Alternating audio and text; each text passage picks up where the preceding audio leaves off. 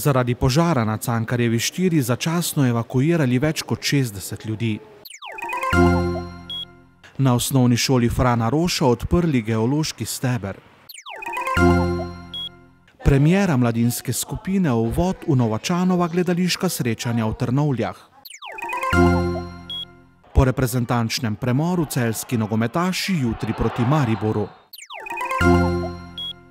Lepo pozdravljeni, spoštovane gledalke, cenjeni gledalci. Na Cankarjevi ulici v Celju je po noči v starejši stanovanski zgradbi izbruhnil požar. V njem je zgorelo okrog 400 kvadratnih metrov podstrešja, policisti pa so iz stanovanj evakuirali okrog 60 stanovalcev. Nihče izmed njih na srečo ni bil poškodovan. Malo po polnoči smo bili obveščeni o večjem požaru na Cankarjevi ulici v Celju, ker je prišlo do požara v stanovanski hiši. Na kraj je bilo napoteno večje število policistov, ki so skupaj z gasilci evakuirali zgradbo, ki je sama gorela in sosednje zgradbe. Samim požarom smo, gled smo pričeli upravljati danes dopoldne in ugotavljati vzrok požara.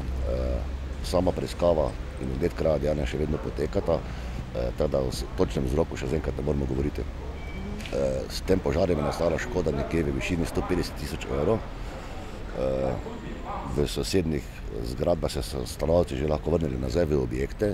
V tem bloku, ki je pa bilo neposredno požar nastal, so lahko pa zaenkrat odvzeli svoje predmete glede, kdaj se bodo pa lahko vrnili nazaj, bo pa stvar upravljavcev, kdaj bodo vzpostavili zadostne razmere za normalne življenjske pogoje.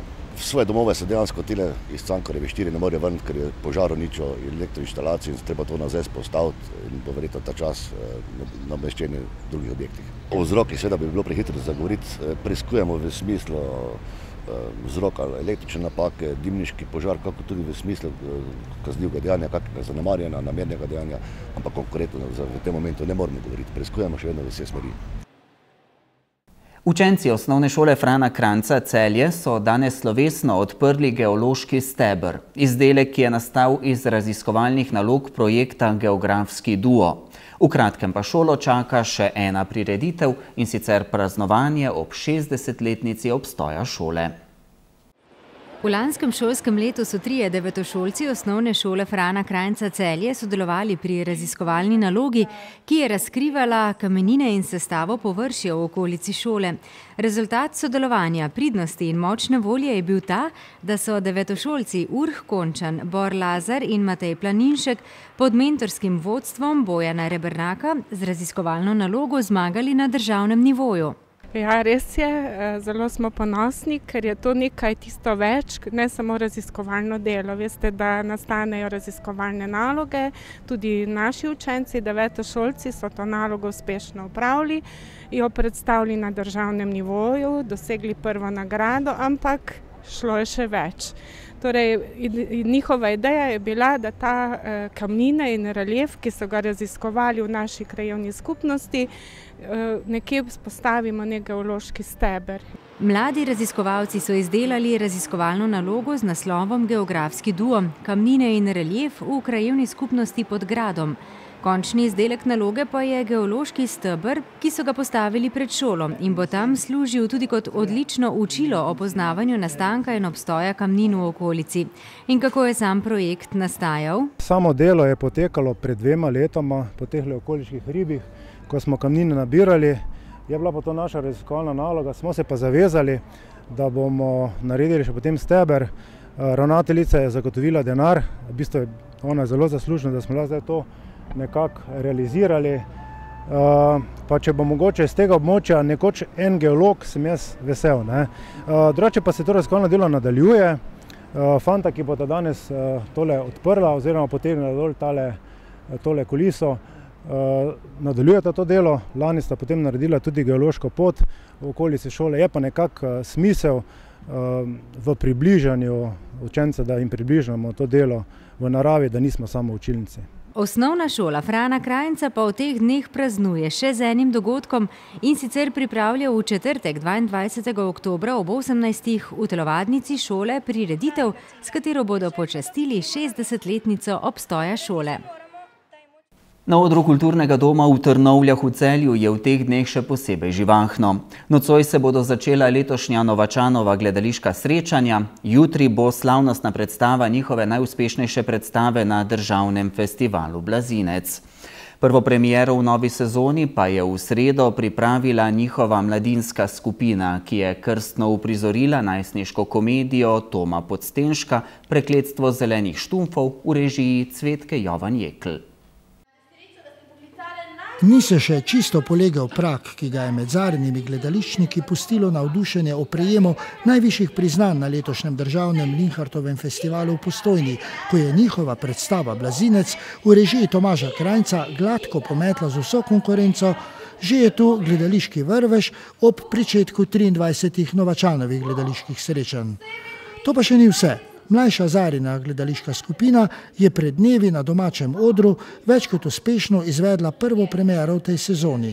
Pod režijskim vodstvom Cvetke Jovan Jekl so pripravili krstno izvedbo najstniške komedije Toma Podstenška Prekletstvo zelenih štumfov.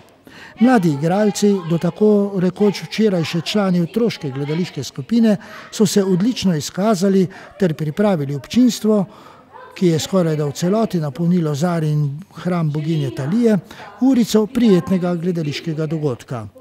Očitno je bilo opaziti, da imajo mladi igralci že lepo miro odrskih izkušenj, ki so plot načrtnega dela z mladimi v gledališču Zarja Celje. In kako premiero ocenjuje režiserka? Uh, ja, ja, lej, prekrasno, uh, nad pričakovanji, moram reči, nad pričakovanji so se sprostili, dali so vse od sebe, moram reči, in so uživali, pa jaz sem uživala z njimi in publika in vsi. Zari in gledališki ansambl je tako napisano v grlico pripel še en uspeh. In kako ga ocenjuje predsednik tega uspešnega gledališča? Nekaj skrivnostnega se dogaja v Zari. Je fantastično, naša otroška skupina ni več, postala je mladinska skupina. Danes so debitirali na našem odru z mladinsko predstavo, uspešno naredili premiero, uh, tudi čestitke Cvetki za njeno 18. premiero na našem odru, ampak nič skrbi, otroška predstava prihaja decembra, otroci so že za nami, za mladinci. Komedijo Prekletstvo zelenih štumfov bodo mladi igravci ponovili že drugi teden, v četrtek 22. oktobra v pol osmih večer ter ob zaključku Novačanovih gledaliških srečanj 21. novembra.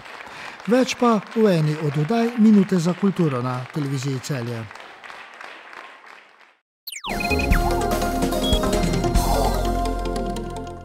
Po reprezentančnem premoru se ta konec tedna nadaljuje nogometno državno prvenstvo. Nogometaši Rudarja bodo jutri ob 20. gostovali v Krškem, celjani pa bodo v Štajerskem derbiju ob 17.45 v areni Petrol gostili Maribor.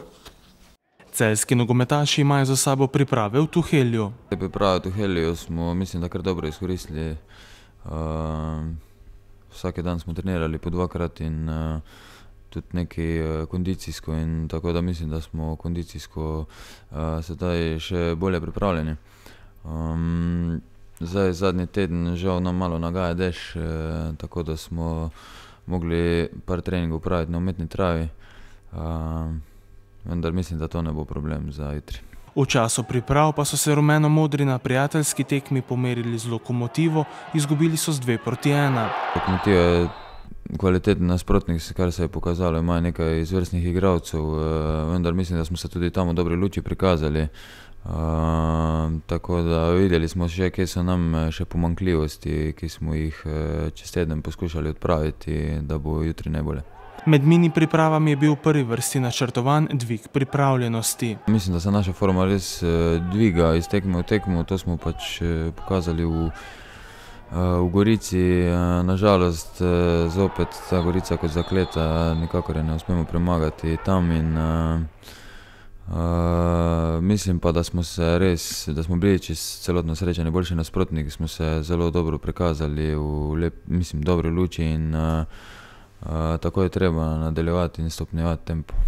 Zdaj je pred celjani natrpan ritem, Maribor, Zavrč, pa kar trikrat Olimpija in še obračun z domžalčani. Vsi se zavedamo, da lahko tekm ni, nahajamo se na lestvici na mestih, ki so vsi praktično pred nami in uh, treba je tekmo po tekmo. Uh, res je, da so nekoliko zveneče imena vsi ti klubi, ampak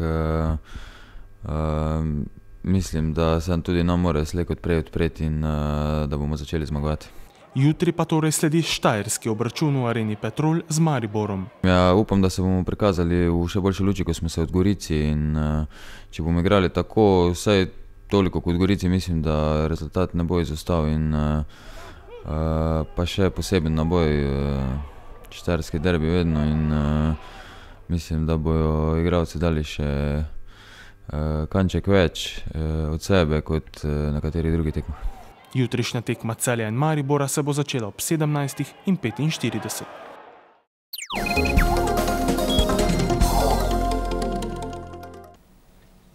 Jutri bo sprva zmirno do pretežno oblačno. Zjutraj in dopoldne bodo rahle krajevne padavine. Popoldne bo po večini suho z obdobji sončnega vremena. Najnižje jutranje temperature bodo od 4 do 8, najviše dnevne od 10 do 14 stopinj Celzija. V nedeljo bo zmirno do pretežno oblačno in po večini brez padavin.